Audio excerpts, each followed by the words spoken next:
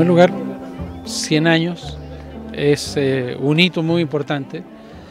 Creo, como lo dije antes, que habla bien de Chile, el que durante 100 años de manera ininterrumpida tengamos un cuerpo de guardaparques cada vez más eh, profesional y numeroso y tengamos un sistema nacional de áreas silvestres protegidas también cada vez más representativo.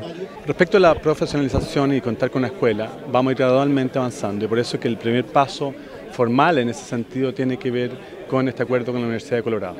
Claramente es un punto de avance y sobre esa base, más el apoyo nacional e internacional, vamos a constituir una escuela que cada vez sea más formal hasta llegar a contar con un cuerpo regular de formación de profesionales en el área de los guardaparques, en el área de la conservación. Buen orgullo, satisfacción, porque la verdad que uno nunca piensa llegar al final de una etapa, digamos, de, de algo que mucho le gusta y en mi caso, bueno, estoy llegando a la etapa final y hoy día me siento orgulloso, feliz y contento por este reconocimiento. Ser mujer guardaparque es un desafío tremendo porque como tú dices es un campo básicamente masculino donde las mujeres somos muy poquitas en Chile. Se decían los discursos de 400 de un universo de 400 y tantos guardaparques, 32 somos mujeres. La verdad es que eso dice que la idea es seguir incrementando el número de mujeres. Para mí es un tremendo orgullo, un desafío, me siento muy cómoda trabajando en este campo que aunque sea muy masculino, la verdad creo nosotros las mujeres tenemos, un, eh, tenemos mucho que aportar.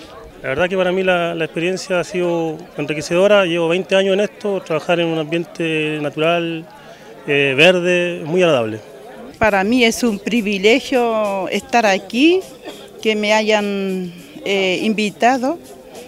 Y no es una tarea fácil ser guardaparque, es muy difícil, pero con el paso del tiempo uno va adquiriendo más conocimiento y entregando a, a las personas y haciendo respetar lo que hay dentro del Parque Nacional.